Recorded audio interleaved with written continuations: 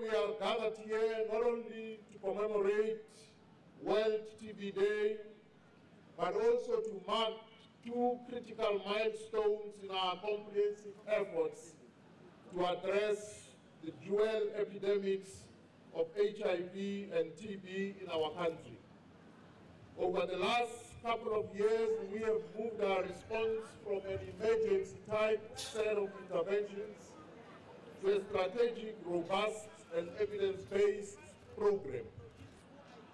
During the National World TB Day event last year, our Minister of Health announced three major initiatives aimed at reversing the tide of TB.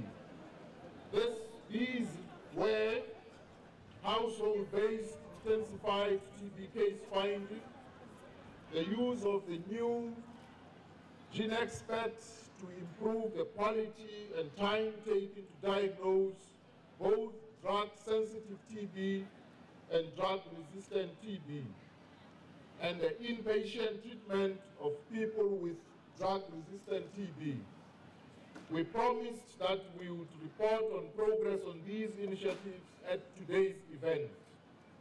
In the period between World TB Day last year and now, we have managed to visit over 100,000 households with known TB patients. The objective of these visits was to screen the contacts of known TB patients and to provide HIV counseling and testing.